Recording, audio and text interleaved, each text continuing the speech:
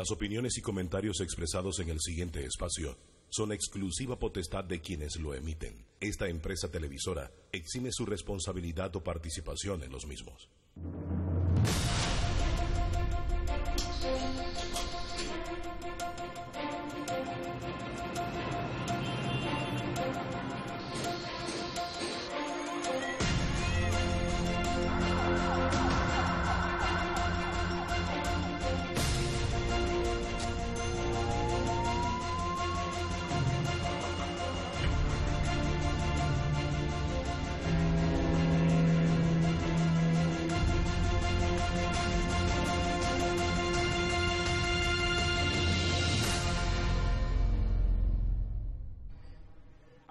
Bienvenidos. Esto es Del Dicho al Hecho, porque no nos quedamos solo en las promesas, sino que tratamos de indagar y entender cómo las diferentes nóminas van a realizar sus propuestas.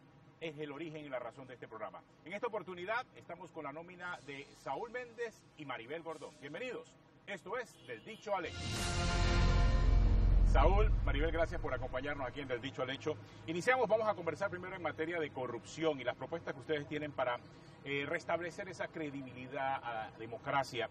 Y revisaba la propuesta de gobierno que ustedes llevaron al Tribunal Electoral eh, y dice textualmente que su nómina establece el compromiso de seguir impulsando la propuesta surgida desde el movimiento social panameño de construir poder popular y garantizar la convocatoria de una asamblea constituyente originaria, así dice la propuesta, que barra las estructuras injustas y corruptas del Estado. La pregunta, ¿cómo harán eso, Saúl, Maribel? Gracias, gracias por la oportunidad. Tal como lo hemos indicado y está plasmado desde el año 2007 en las tesis fundamentales que discutimos en el Congreso Constitutivo de Frenadeso, hace 12 años, planteamos un diagnóstico del país. Nuestro país requiere que nuestro pueblo se organice. Por eso es importante que con esa organización popular se pueda desarrollar una política nueva en función de una nueva constitución. Nosotros pretendemos convocar una constituyente en la que los sectores sociales del país estén representados, los indígenas, los campesinos, los obreros, los profesionales, los educadores, los empresarios honestos, es decir, que no haya, como existe hoy, exclusión. En esa nueva constituyente debe garantizarse, para el caso de la corrupción, tres elementos que son fundamentales. Primero, que el delito no va a prescribir por orden constitucional. Segundo, que quienes han cometido delitos de corrupción, generalmente delincuentes disfrazados de políticos y empresarios de alto vuelo, van a responderle a la justicia. Y tercero, debe recuperarse todo lo robado. Todo lo robado puede estar hoy en casas, carros, en yate, en playa, en isla, en costas. Eso debe la justicia recuperarlo. Los recursos económicos en banco y dentro fuera del país debe recuperarse para que el pueblo pues, pueda eh, resarcir el daño, por un lado, y poder invertir estos recursos en educación, salud, agua potable, vivienda. El proceso constituyente que estamos planteando debe asumir los tres poderes del Estado. Para entender el proceso constituyente originario, como lo plantea el FAT, ¿es sobre la base del artículo 2 de la Constitución o sobre la base del título tercero, que son los artículos 313 y 314? ¿Cuál es la idea de ustedes? El poder emana del pueblo. Y todo artículo 2 entonces de la Constitución. Todo, todo, todo el poder radica en él. Cuando estamos hablando del poder constituyente, no es que el pueblo está subordinado ni a la vieja constitución ni a las viejas estructuras. El poder constituyente, es decir, los electos como constituyentes, van a ejercer el poder en Hago tres pregunta específica porque muchos consideran que en este momento evocar el artículo 2 de la Constitución para una constituyente originaria sería un golpe de Estado técnico. Eso es falso. Y te voy a, a plantear dos experiencias panameñas. La primera, en 1903, cuando hubo la separación de Colombia, la constitución regente en Panamá era la colombiana. Hasta 1904 se legisló la primera constitución panameña. ¿Qué significa eso? Que ese acto que encabeza un grupo de personas y que es avalado por el pueblo tiene perfecta legitimidad. Ese es el poder constituyente. Los poderes constituyentes se han utilizado en todas partes del mundo. La Revolución Francesa, por ejemplo, es poder constituyente. La revolución que se dieron a partir de ese momento en el resto de las sociedades son asambleas constituyentes. Entonces es obvio que nosotros requerimos un nuevo marco legal que barra la podredumbre. Por ejemplo, una de las cosas que conocemos y que el país ya sabe es que nombraron los magistrados porque activaron las planillas 080 y 172. Se presta para el negociado de la corrupción. En el proceso constituyente, los magistrados y jueces en la nueva constitución deben ser electos o por el voto popular o por concurso de oposición. Dos medidas que quitan poder al Ejecutivo de designar y al Legislativo de ratificar. Profesora Gordón, ¿qué piensa usted acerca de esa propuesta constituyente originaria que buscaría solucionar problemas endémicos ya de la realidad política nacional? Sí, hay una realidad concreta del país y es que la mayoría de los panameños y panameñas han sido excluidos de la toma de decisiones, de la definición de las políticas públicas y obviamente la Asamblea Constituyente originaria debe dar una estructuración de participación a los más diversos sectores. Por ejemplo, la juventud debe estar incorporada en ese quehacer de la construcción de una nueva Carta Magna, las mujeres que hemos sido históricamente excluidas, pero también la constituyente va a ser la base para incorporar un conjunto de medidas básicas insatisfechas por la mayoría de la población. Es decir, por ejemplo, el caso que estamos abordando con mucha fuerza, que es el caso de los sectores productivos, debe estar en un planteamiento constitucional que garantice la alimentación de la población. Entonces, el temor es de quienes no creen en la democracia realmente el pueblo no se puede dar un autogolpe y el poder del Estado emana del pueblo. Ahora, dice en su propuesta de gobierno, también la que presenta en el Tribunal Electoral, que los partidos políticos, y esto lo dice el FAT específicamente, que los partidos políticos tradicionales hasta ahora solo han jugado en favor de la alternabilidad en el poder. Y así lo dice textualmente, es en el quítate tú para ponerme yo. ¿Cómo se cambia ese quítate tú para ponerme yo, Saúl Maribel? es importante. Las estructuras llamadas partidos políticos en este país se convirtieron y desde el nacimiento de la República están subordinadas al poder económico. Hay una mezcla entre el poder económico y el poder del gobierno. Pero eso tiene una razón de ser. Es garantizar a las élites el saqueo de los recursos naturales, minerales y de los recursos económicos del pueblo panameño. Los partidos políticos tienen que ser representantes legítimos de la voluntad del pueblo. Los partidos políticos tradicionales en este país no son representantes de la voluntad del pueblo, son representantes de, de quienes financian campaña electoral. Por eso vamos a encontrar contratos leoninos, por ejemplo, como el de Minera Panamá, que hizo Pérez Valladares y que los gobiernos han seguido con distintos partidos políticos y se mantiene intacto. ¿En qué consiste ese acto leonino? consiste en que de los 72 mil millones de dólares que se van a extraer en minerales en ese territorio, el costo ecológico lo paga el gobierno. Los minerales son de el pueblo panameño, pero la relación de distribución es de cada 100 dólares, 98 para la empresa y 2 para Panamá. Eso debe acabarse. Además, este mismo contrato establece dos elementos fundamentales. Uno de ellos es el hecho de traer mano de obra extranjera. Más del 50% de los que allí laboran desplazan mano de obra panameña. Eso está en la ley y los partidos políticos lo han permitido. Entonces, eso no representa el interés legítimo del pueblo panameño. Al ser tan específico en estos casos, asumo yo que de llegar ustedes al poder, revisarían estos contratos, revisarían todo lo que se ha firmado hasta ahora. O sea, ¿harían una, ¿harían una revisión general de todo lo que ha hecho el Estado panameño hasta el momento? Por supuesto. Panamá por en 20 años solo le ha entregado a Panamá un millón de dólares. ¿Cómo se puede explicar que los principales puertos del país, Cristóbal y Balboa, solo hayan generado un millón de dólares en 20 años? Tú, yo y todos los que somos asalariados en 20 años hemos pagado decenas de millones de dólares en impuestos. Y esa empresa que es de nosotros esos puertos que son de nosotros, es decir, sirven para unos cuantos bolsillos y no para el pueblo panameño en su totalidad. Por eso hay que revisar estos contratos. Pero hemos mencionado este dos, contrato. Minera, Panama Ports, ¿cuáles más van a revisar? Todo lo que se ha ejecutado hasta ahora, El problema es que si tú estás planteando una propuesta de desarrollo nacional y social y hay un conjunto de contratos, entre ellos, por ejemplo, los tratados de libre comercio, que han sido para favorecer negocios y sectores muy particulares, además del hecho de que aquí se han formulado leyes con carácter personalísimo para favorecer determinados intereses económicos, un adesentamiento del país que lleve a eliminar esas trabas de corrupción y esas fuentes de corrupción, obliga a revisar los contratos que se han establecido por parte del Estado y todo aquel contrato que no se rija por el criterio de desarrollo nacional y de desarrollo social tiene que ser revisado. independientemente de las repercusiones económicas que eso pueda tener. Bueno, independientemente de las Y hablo de repercusiones, las repercusiones para el Estado panameño.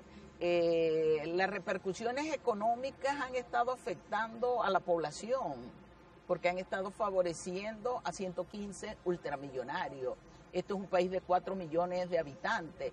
Eh, La mayoría de esos 4 millones de habitantes nos hemos visto afectados por contratos leoninos.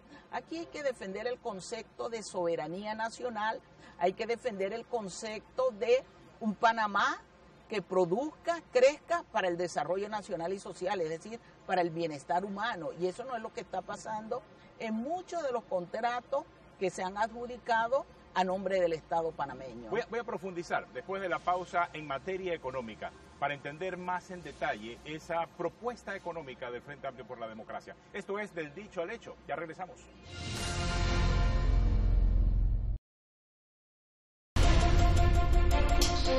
Continuamos, esto es del dicho al hecho hoy con la nómina de Saúl Méndez y Maribel Gordón del Frente Amplio por la Democracia. Y vamos ahora a profundizar en materia económica. En el primer bloque hablamos de las reformas estructurales del Estado y muchas de esas reformas veo que tienen que ver con el tema económico a profundidad. Es más, su compañera de fórmula, Maribel Gordón, es profesora y entiende la materia en tanto en política económica como en, eh, en- en política económica como economía y la manera en que la política influye en la economía. Así que estamos hablando con un especialista y estamos hablando con usted que del tema también tiene muchos años analizándolo. La pregunta es cómo proponen entonces reactivar la economía con más construcción, con más obras. ¿Cómo ven la forma en que puede reactivarse la economía del país? Hemos propuesto que la economía del país debe atender al desarrollo nacional y al desarrollo nacional atender el desarrollo humano y social. Nuestro plan de gobierno está fundamentado en el derecho del pueblo panameño. Hemos hablado de dos sectores de la economía que son muy importantes de desarrollar. El sector primario, que es el agro, el sector secundario, que es la industria. Dentro de la industria, la agroindustria, el procesamiento de alimentos. Estos dos sectores productivos del país que transforman la materia prima y el otro que hace producir la tierra o la cría, ya sea de ganado, ave o puercos, esto nos permite y demanda mano de obra, generar empleos. Nosotros entendemos que para recuperar la soberanía, la autosuficiencia y la seguridad alimentaria requerimos un nuevo título constitucional que declare al Estado panameño soberano en esta materia y que permita poner toda la institucionalidad del país en desarrollo del agro. Poner el MIDA, el IDIAT, los institutos de investigación, una parte de la educación pública debe estar dirigida a la formación de profesionales y técnicos, igual que los bachilleratos agropecuarios, dotar a nuestras universidades, nuestra capacidad instalada, eh, Universidad de Panamá, los institutos de investigación, de los recursos que requerimos para la investigación, para la innovación y para el desarrollo de la ciencia. En el debate pasado del agro, nosotros convocamos a nuestros científicos, a nuestros profesores y a los estudiantes más destacados para desarrollar la ciencia. Hoy Panamá importa casi toda su tecnología. Debemos crear capacidades desde el punto de vista progresivo para que nosotros podamos desarrollar tecnología en el país. Es decir, apuntar a estos dos sectores debe permitir, sin duda, poder seguir desarrollando. El plan de infra- infraestructura pública que estamos visualizando debe obedecer no simplemente al transporte de mercancía, sino cómo hacer la vida más digna del pueblo panameño. como tú logras ver los inmensos tranques que vivimos por la falta de planificación en función de cómo se debe desarrollar el país, su industria, la vivienda de las personas, etcétera.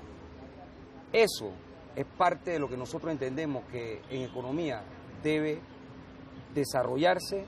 Estamos hablando de planificar la economía, hoy no hay una planificación de la economía en el país, por eso todo está como desintegrado.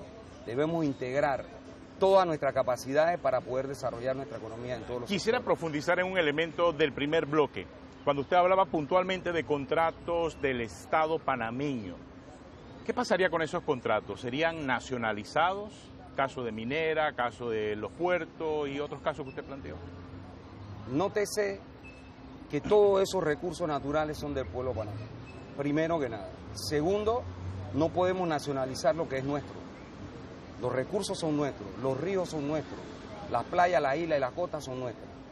Las empresas, como por ejemplo el IRRE, que dividieron en ocho empresas eléctricas, tú debes recordar, y se lo pregunto al pueblo, ¿cuántas veces nos subió la tarifa eléctrica el IRRE cuando era ahí? ¿Cuántas veces nos han subido la tarifa eléctrica las empresas que tienen el IRRE? Es sencillo, es lógico. Cada seis meses se anuncian aumentos de la tarifa eléctrica. Cada vez que un gobierno cree o el ente regulador cree que debe aumentar la tarifa eléctrica, eso ocurre. Entonces, recuperar lo nuestro, nacionalizar, regresar al IRRE. Recuerda, recuerda, recuerda que estas empresas están concesionadas y su gran parte de ellas, sus contratos vencen. Hay otros que tendremos que recuperar para el Estado, ¿sí? porque aquí lo que se dan es prórroga a concesiones que se han dado. Por eso hay que recuperarlas. Sí, hay que recuperar. Las recuperar y cuando se vence el contrato, acabar con ese contrato. Cuando ese contrato termina el contrato, ese es un término jurídico claro. Y, no volver a pensar en ese modelo, cambiar el modelo, voy a ponérselo así, cambiar el modelo entonces. El modelo económico es parte de la propuesta que nosotros estamos haciendo, cambio de modelo económico. Las empresas y los negocios rentables del Estado deben regresar a la mano del Estado. Los como empresas públicas del Estado. Empresas públicas. Del Estado. Correcto. Eso, bajar los precios, bajar los precios, generar ganancias en esa empresa que reviertan en educación, salud, agua potable, carreteras, vivienda, trabajo digno, porque esos recursos hoy quedan en bolsillos privados. Todas estas concesiones privadas, profesora Maribel Gordón, serían entonces ahora, o la propuesta de ustedes es transformar estas empresas que hoy en día administran parte de ese, de ese recurso del Estado panameño en empresas públicas? En economía hay un principio aceptado y es que ninguna actividad económica estratégica puede estar en manos de terceros, tiene que estar en manos del Estado, porque eso es parte de garantizar la soberanía de los pueblos y la defensa de un país. Eh, la comunicación, las telecomunicaciones son un elemento estratégico en el quehacer económico y político. La electrificación también. Además de ello, en muchos de los países donde estas empresas fueron privatizadas, se ha revertido nuevamente a la estatización de las mismas por los conceptos que ellos implican. Revisar los contratos implica poner contratos en función del desarrollo nacional y social. Todo aquel contrato que se le venza su periodo tiene que ser valorado y si hay la necesidad de negociarlos, tiene que ser negociado en función de los intereses nacionales, no de los intereses de un individuo, de una empresa o de una transnacional. Eso es una de las cosas que nosotros estamos planteando. Pero además de ello, en el caso de la economía panameña hay un problema de desequilibrio en el comportamiento de los sectores económicos. Nosotros estamos planteando un desarrollo armónico que priorice en los sectores productivos, que no niega el sector terciario, lo que hoy llaman el sector logístico. Pero el sector logístico de Panamá no está en función de Panamá, está en función de la economía mundial. Y está bien, sí, nosotros tenemos una relación importante que es nuestra posición geográfica, pero la logística debería servir también para la cadena de lo que son los sectores productivos, véase agro y véase sector industrial. Eso es necesario en un equilibrio armónico. Preguntaba sobre la construcción. El problema es qué es lo que estamos construyendo y para quién lo estamos construyendo. Aquí se ha dicho hay un conjunto de mall que se están construyendo, de centros comerciales que están vacíos. Esa debe seguir siendo la tendencia de la actividad de la construcción en este país o por el contrario, por ejemplo, hay un déficit habitacional de más de 150 mil unidades que corresponden a los sectores de menores ingresos en este país y que el Estado debería velar, pero no nos ha interesado dar una respuesta a ese problema. Profesora, eh, en materia fiscal, ¿propondrían una reforma fiscal? Estamos proponiendo, fíjese, una reforma fiscal. La, el área fiscal tiene dos componentes, lo presupuestario y lo tributario. En términos presupuestarios, nosotros señalamos que hay que reordenar la asignación de los recursos del país. Véase el presupuesto nacional. Aquí hay un conjunto de gastos suntuarios que no deben estar en la estructura presupuestaria. Eliminar el gasto suntuario. Eliminar los gastos suntuarios en lo presupuestario, eliminar todas aquellas partidas que están dirigidas a esconder el clientelismo político, las llamadas planillas. Tenemos además que dar prioridad. Y la prioridad del presupuesto nacional debe ser salud, educación, vivienda, transporte, infraestructura social. Y en el orden tributario estamos planteando un sistema de, impuestos de carácter progresivo, que significa, que los que más ingresos obtienen aporten más. En Panamá la estructura eh, eh, tributaria es regresiva, tremendamente regresiva. Aquí son los asalariados los que contribuyen con mayor peso o ponderación A ver, al fisco. Eso significaría más impuestos para empresas, más impuestos para los que, los, que obtienen mayores ingresos, menos impuestos para los que obtienen menos ingresos. Lo que estamos diciendo, primero no hemos hablado de aumentar impuestos en nada, reordenar. Aquí hay una serie de evasión fiscal. Aquí hay una serie de empresas que les han exonerado la carga tributaria. ¿Acabar con exoneraciones? Eh, revisar las exoneraciones y obviamente hay sectores que tienen que comenzar a contribuir al fisco, porque se supone que es un impuesto. Son recursos de manos privadas que pasan a tener un objetivo de carácter social. Obviamente significa adecentar la política pública. La zona libre de Colón, por ejemplo. Ese es un caso. Es uno de los casos que hay que revisar. Efectivamente, aquí se habló de una ley de incentivos universales donde se les iba supuestamente a aumentar los impuestos a la zona de libre de Colón. Existía en ese momento un 8% y quedó en 0%. Eso no es correcto. Aquí todos los sectores deben contribuir. Hay que hacer una política, obviamente, que diferencie. Por ejemplo, en términos progresivos, los sectores em, empresariales también tienen un problema de regresividad. Aquí el pequeño y mediano empresario paga más impuestos que el gran empresario. Eso no puede seguir siendo. Tengo una pausa, ya regresamos aquí en Del Dicho al Hecho y al volver hablaremos sobre los temas de salud, caja de seguro social con el Frente Amplio por la Democracia que nos acompaña, la nómina de Saúl Méndez y Mariguel Bortón. Ya regresamos.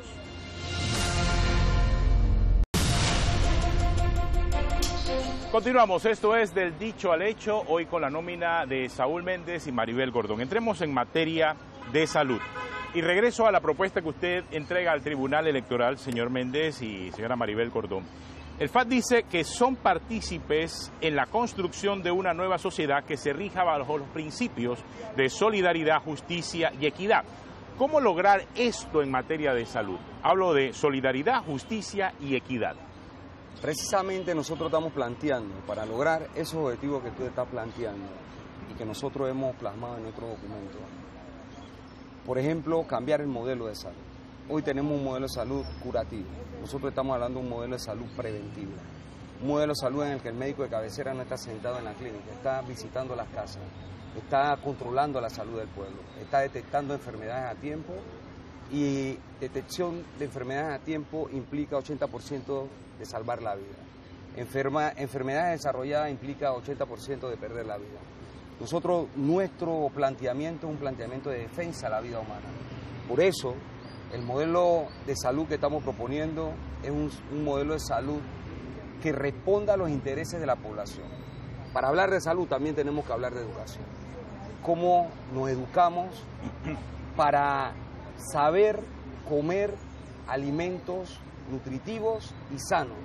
Esa es parte de nuestra formación que debemos tener. Pero también esto implica cómo se producen los alimentos.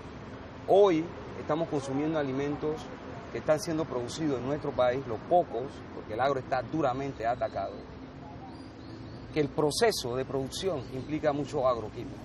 Gran parte de esos agroquímicos se consume en el producto, generan enfermedades.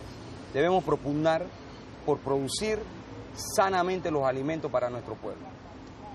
Hablar de salud preventiva tiene que ver con tener los hospitales, tener las instalaciones aptas para brindar esa salud. Hoy, del 100% de los hospitales y centros de atención para la salud del pueblo, el 75% están muertos o enfermos.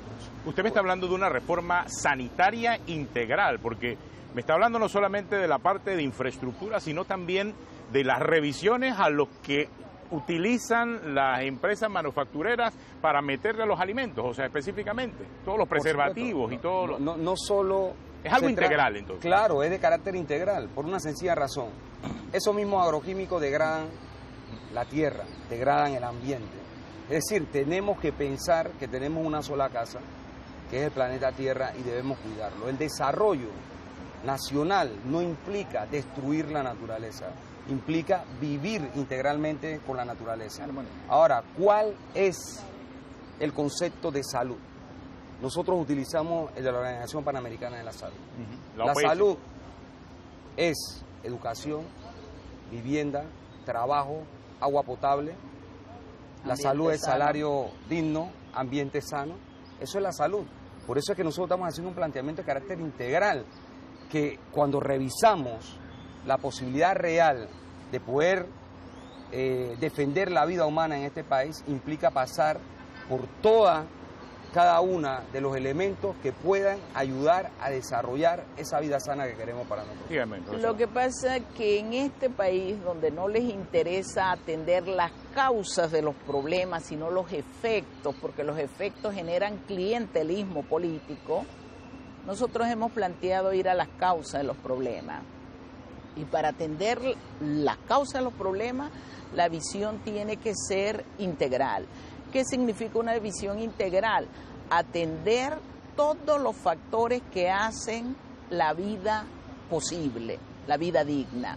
Y ahí estamos hablando de salud, de educación, de vivienda, de transporte, de Agua empleo, de salario, de acceso al agua potable, de el problema de un ambiente sano y de recreación a la población. Aquí se habla de una población que está enferma, pero es que aquí no hay el acceso a la recreación. Una de las cosas que se le ha sido negada históricamente a los panameños y las panameñas. Entonces nosotros planteamos este concepto de atender todos los factores que hacen la vida posible y de articular una política que tenga una visión de conjunto, no políticas aisladas. En economía tenemos un concepto, la sumatoria de planes, la sumatoria de medidas no dan integración. Nosotros apostamos a la integración. Ahora bien, eh, en este momento el tema del precio de los medicamentos está siendo eh, realmente muy cuestionado por la, por la comunidad. ¿Cómo resolver ese problema? ¿Cuál es la propuesta de ustedes para resolverlo? Es salvaje lo que le está pasando a los panameños. Y qué bueno que los medios empiezan a presentarlo en función de ver cuánto cuesta el medicamento, un mismo medicamento en Centroamérica o en Sudamérica, cuánto cuesta en Panamá. Cuando digo que es salvaje lo que está ocurriendo, es que en Panamá hay una situación desmedida, hay una situación insaciable que pareciera que hacer la vida cada vez más dura al pueblo panameño es el norte. Cuando se aprobaron las leyes que abrieron el famoso mercado de medicamentos, de alimentos, empezaron a subir los precios de forma indiscriminada, salvaje, como lo hemos dicho. Entonces nosotros lo que pensamos claramente es que los precios de los medicamentos, los precios de los alimentos deben bajarse y deben regularse, no 20 y 10. Todo lo que corresponde a alimentación, a medicamentos, incluso a los servicios básicos, hay que bajarle los precios. La ganancia tiene que ser razonable. No puede ser este ¿Eso implica control salvaje. de la ganancia en estos alimentos? control de los precios que explotan al pueblo, que es distinto. Por- no, por eso le Nótese. preguntaba, control de la ganancia, control de los precios. Nótese, Eh. nótese que en el caso del agro, al productor no se le paga bien y al consumidor le venden los precios exorbitantes. ¿Quién hace eso? La cadena de intermediación. Vamos a bajar los precios y se los vamos a congelar todos. Eh, Es Debe meterse en la cadena de intermediación, es lo que plantean. supuesto, regular eso, porque ese Es más allá que problema. regular el, cos- el precio final, es No, eh, regular la cadena. Lo que pasa es que cuando hablamos de regulación, la regulación no solamente tiene que ver con precios. La semana pasada tuvimos la oportunidad de reunirnos con la Organización Panamericana de la Salud y uno de los temas analizados fue este, en los medicamentos. La regulación implica precio, calidad, comercialización de los medicamentos, producción de los mismos y obviamente en la visión de la OPS está el concepto de cómo se rompen las estructuras oligopólicas que dominan los fármacos. Entonces, en ese sentido, nuestra visión de regular implica eso. La regulación requiere la participación estatal y de la ciudadanía. Y es uno de los elementos que nosotros estamos señalando como uno de los garantes. En el cortísimo plazo, por ejemplo, para los medicamentos, Panamá requiere declarar una urgencia sanitaria para poder atender el problema. En el, cor- en el mediano y largo plazo, nosotros estamos hablando de que hay que romper con las estructuras de corrupción que se dan en la adquisición de medicamentos por parte de las estructuras estatales.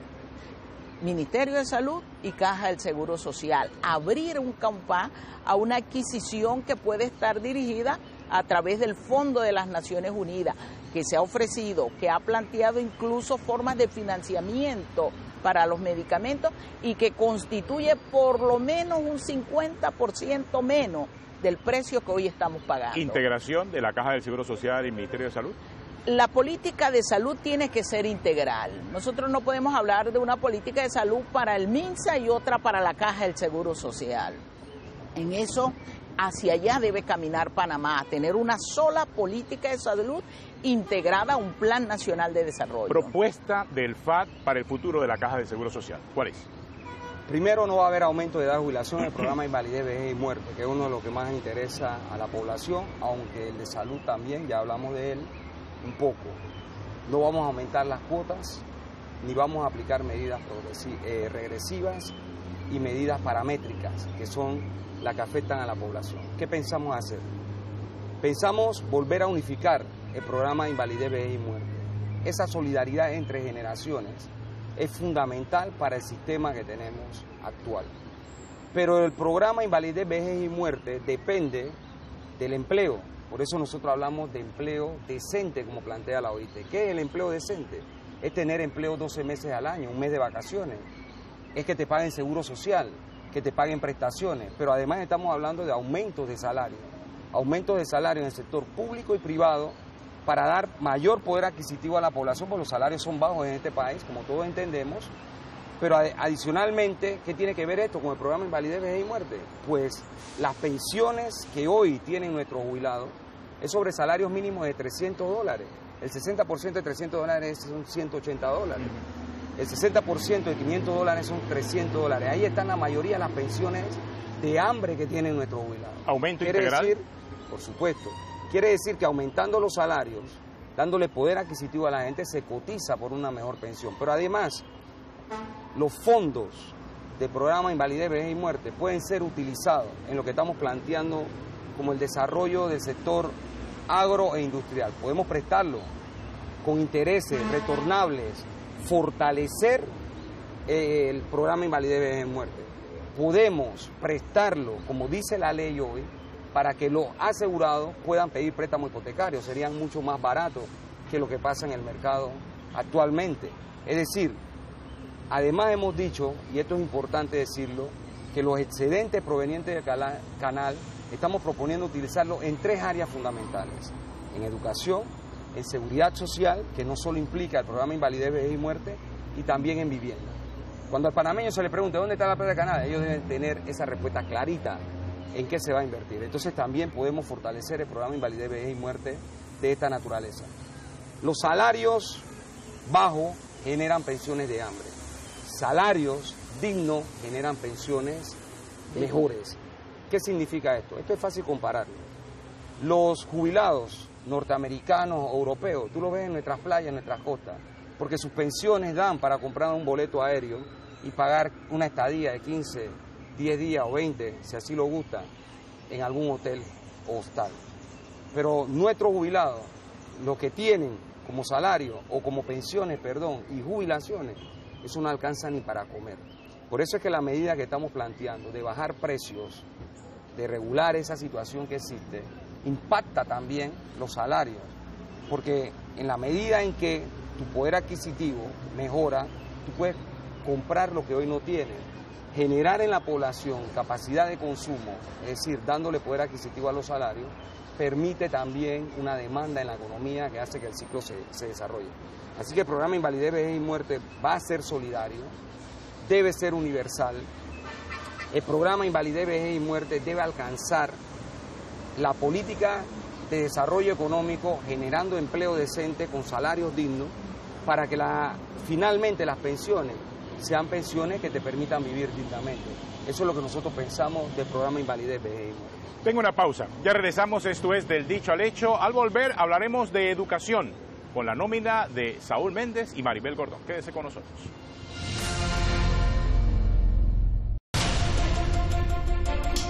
Continuamos, esto es del dicho al hecho con la nómina del Frente Amplio por la Democracia. Saúl Méndez, Maribel Gordón nos ha acompañado este día. En materia de educación, bueno, acá hay problemas de forma, de fondo. Eh, hablemos primero de fondo. ¿Cómo mejorar la calidad de la educación, señor Méndez, señora Maribel Gordón? Lo primero, como lo venimos sosteniendo, este es un tema de carácter integral. La educación tiene que estar vinculada al desarrollo nacional. El desarrollo nacional tiene que estar vinculado al desarrollo humano y social. Esta es la clave del plan de gobierno que nosotros estamos presentando al país, que es distinto a los 30 años que tenemos de falsa democracia y de implementación del modelo económico neoliberal. Que este año se cumplen 40 años de implementación, es decir, los militares también lo hicieron. ¿Qué estamos planteando de forma integral? Primero, destinar los recursos que requiere la educación. El 6% del Producto Interno Bruto, lo dice la ley, pero eso no se cumple. Sin embargo, creo que cuando toquemos la constituyente, nuevamente, cuando entremos en el marco constitucional, en la constituyente, el tema de educación, debemos incorporar allí valores que permitan, valores eh, económicos. económicos, que permitan garantizar a partir de allí los recursos de la educación.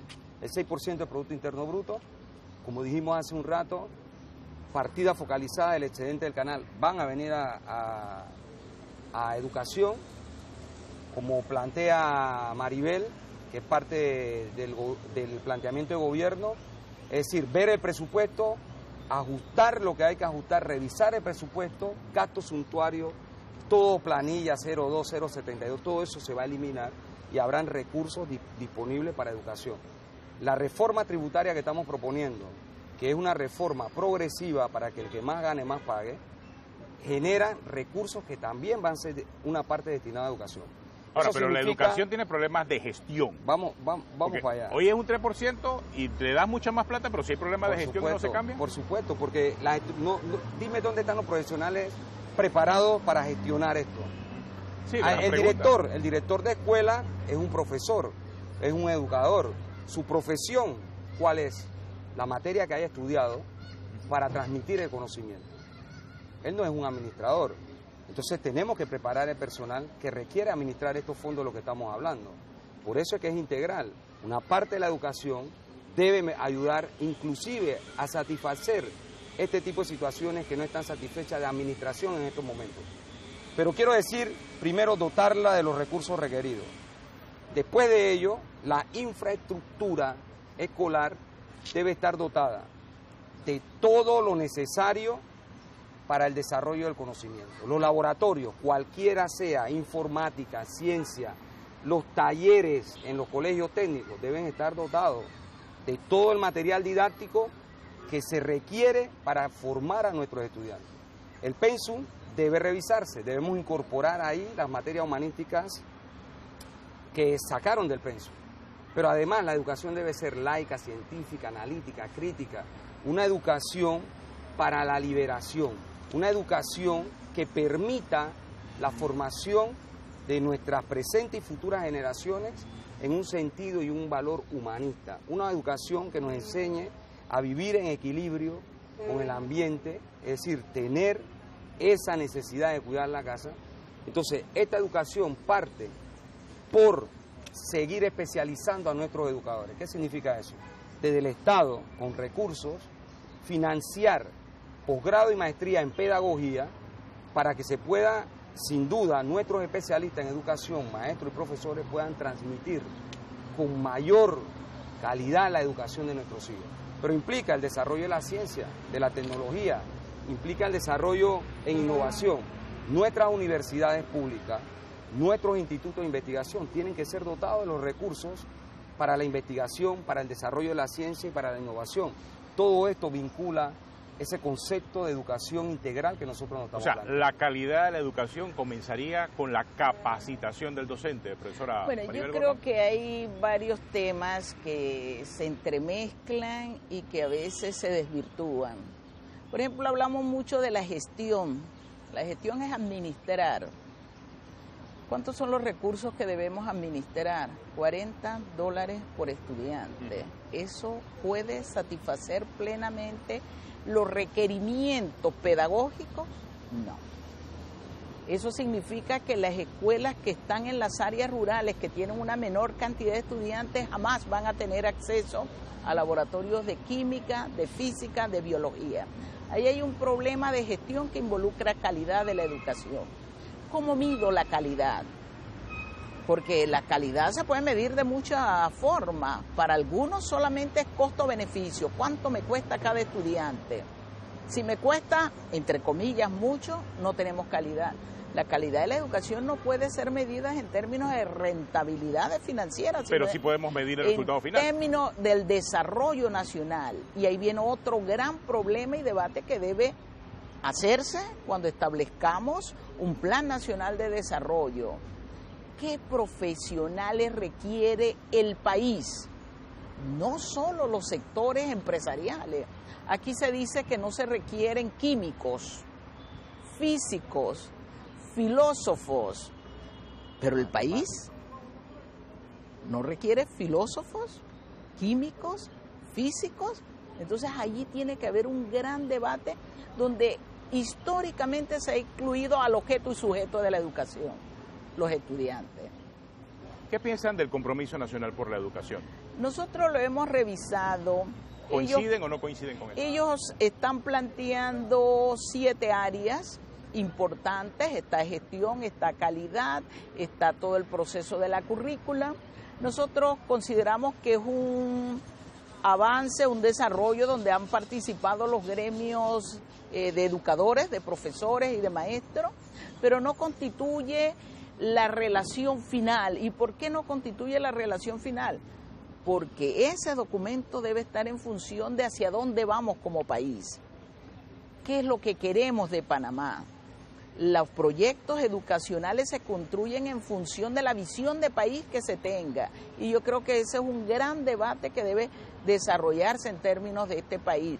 Si queremos hablar de un país en donde haya equidad y justicia social, este modelo de educación por competencias que llaman y este modelo de, de política económica no se corresponden ni a la equidad ni a la justicia social. Hay un modelo educativo del que el señor Méndez habló recientemente en un foro ante jóvenes que hablaba de invertir más en investigación, en innovación y en desarrollo. Eh, ¿Cuál es esa propuesta para cambiar ese pensum académico actual?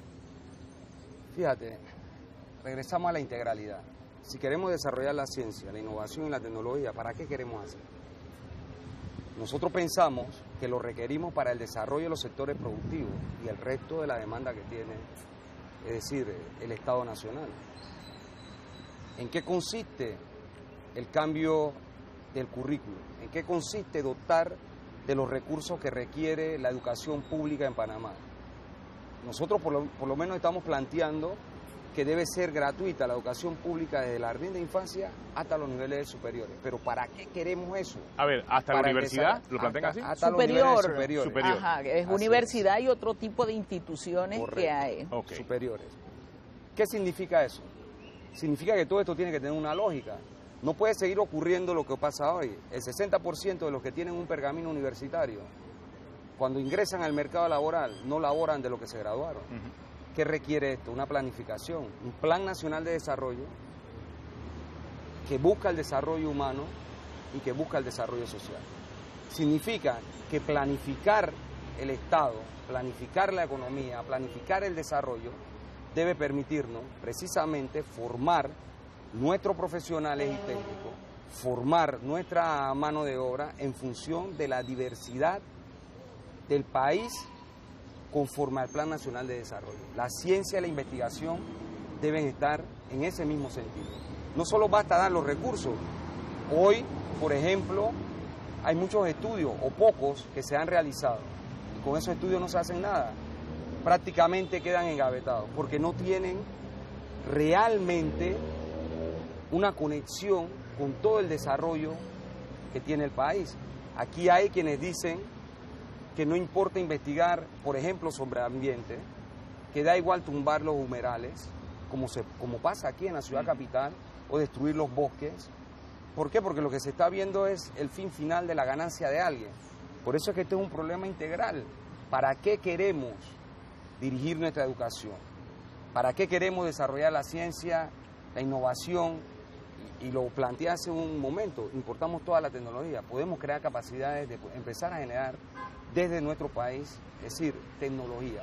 Pero Pero, todo esto tiene un sentido lógico, Claro. el desarrollo nacional, el desarrollo humano y el desarrollo social. Por eso era algo. Pero además la cultura y el arte. Aquí los chicos cuando van a estudiar carreras artísticas se preguntan enseguida, ¿podré vivir del arte? Y la respuesta generalmente es no. Y terminan desviando sus potencialidades a cosas que no les interesa. Un plan nacional de desarrollo considera eso. Ministerio de Cultura, quizás. Un ministerio de cultura, El un deporte. desarrollo de los jóvenes. Los niños en el campo desde los 4 o 5 años ya saloman y los perdemos. ¿Cómo sacar a la política del deporte? ¿Cómo sacar la política de la cultura? Porque la política está metida en ambas y se utiliza como clientelismo, Así es. Nótese, nótese que el concepto político, yo creo que tenemos que redefinir el lenguaje. Política es necesitamos toma de políticas decisiones. públicas para desarrollar la cultura y el deporte. Lo que no necesitamos es la corrupción clientelista Con la- la, cual la se dirige el. Estado hoy, o la politiquería barata, ¿verdad? Eso que dicen que los bates cuestan 400 balboas, ¿verdad? Que son diputados. Eso es lo que tenemos que extirpar, pero requerimos políticas públicas. La politiquería tiene que ser tratada como tal. Los delincuentes disfrazados de políticos deben ser tratados como delincuentes. Así es. Es decir, no podemos encubrir, es lo que yo pienso, con el término política, el mal actual delincuencial de muchos. Tenemos que llamarle delincuentes, pero requerimos políticas públicas para el desarrollo Nacional nacional, y social. humano y social. Hablamos de educación. ¿Qué piensan de la educación sexual en las escuelas? Nosotros hemos sido claros, si creemos en la educación como una de las bases del desarrollo de una sociedad, la educación sexual y reproductiva tiene que ser parte de esa educación, de esa integralidad. Cuando no lo hacemos, estamos coartando y violentando los derechos de los jóvenes, de las jóvenes. Entonces necesitamos eso. Aquí se publicita mucho los embarazos, pero no queremos darle respuesta al problema. Educar nunca está de más, hay que hacerlo de manera científica, hay que hacerlo atendiendo las edades, pero hay que educar en educar. Hay que gestar un proyecto de educación sexual y reproductiva como garantía no solamente de niñas que salen embarazadas, sino también de todo lo que tiene que ver con las enfermedades sexualmente transmisibles. Entonces tenemos que educar, pero además tenemos que hacer concientización. Allí los medios de comunicación deben jugar un papel importante. Nuestros padres no fueron formados en ello. Muchos de nuestras generaciones tampoco. ¿Por dónde adquiere información la juventud? Entonces se los estamos dejando abiertos a parámetros no científicos y los resultados son los que tenemos. Se nos acaba el programa, ya quisiera dejarlos con un mensaje final. Saúl, Maribel, para despedir el programa con su mensaje de fondo de cara a lo que va a ser la elección. Solo decir que el Papa Francisco cuando volaba de Panamá al Vaticano se le abordó el tema y planteó un elemento que es fundamental. Esto no se puede ver con fundamentalismo, esto hay que verlo como un problema social, el tema de la educación sexual y hay que verlo de forma integral. Y pienso que este es un tema que el panameño, el pueblo panameño tiene claramente que entender, debatir, analizar y tomar acción inmediata porque beneficia a todos. un niño, un adolescente enfermo de, cual, de SIDA, por ejemplo, o de VIH, del virus, eso hace daño al país. Tenemos que, a través de la educación, ver y atender este tipo de problemas, además del tema que genera los embarazos. Yo quiero terminar llamándote pueblo. Estamos presentando una propuesta distinta, una propuesta humanista, una propuesta que el centro de sus políticas públicas son los seres humanos. Los seres humanos por encima de los intereses de unos cuantos. Los seres humanos de este país estamos clamando desarrollo nacional con desarrollo humano y social. Crecimiento económico, pero crecimiento económico para todos. Un país próspero, pero un país próspero para todos. Estas manos están limpias de corrupción y es la que estamos ofreciendo para transformar el país junto con Maribel. Las otras seis candidaturas son más de lo mismo. Han gobernado los últimos seis ah, eh, periodos, 30 años, y su receta es exactamente la misma, hacer la vida del panameño cada vez más infeliz. Por eso, en tu mano está transformar el país, cambiar la ruta de la historia, es posible, y construir entre todos un Panamá justo, equitativo y humano. Profesora Maribel Gordón, su mensaje. Saúl y yo no aparecemos ahora, Hemos estado históricamente con la mayoría de este país luchando para que se respeten nuestros derechos humanos, el derecho al acceso al agua, a la vivienda digna, al trabajo, a salarios justos, a educación, a salud. Vamos a seguir caminando, no estamos haciendo falsas promesas en campaña electoral como sí hace la partidocracia cada cinco años donde prometen el cielo y la tierra, pero todos han sido gobiernos, ninguno ha cumplido, todos han hecho escándalos de corrupción. Saúl, Maribel, manos limpias, vamos con la roja, adecentemos el país. Este 5 de mayo, hombres, mujeres, juventud, acudamos a votar, pero nunca más por lo mismo. Muchas gracias, profesora Maribel Gordón. Saúl Méndez, gracias. por acompañarnos. Esto ha sido Del Dicho al Hecho, hoy con la nómina de Saúl Méndez y Maribel Gordón. Muchas gracias por acompañarnos. Será hasta la próxima.